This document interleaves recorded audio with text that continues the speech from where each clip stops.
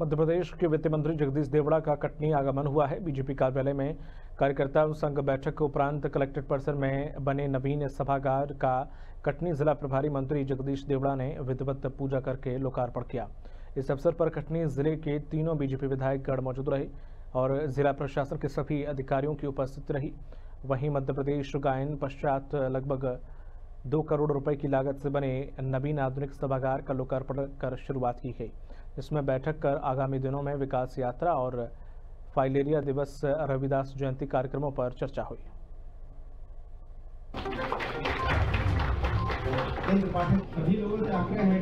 देश में जो विकास हुए हैं गाँव गाँव में जो विकास हुए हैं, और जो इस देश के लिए जो महत्वपूर्ण काम हुए हैं, उन सारे कामों को लेकर के प्रदेश में विकास यात्रा संत शिरोमणि रविदास जी की जयंती 5 फरवरी से 25 फरवरी तक यह यात्रा चलेगी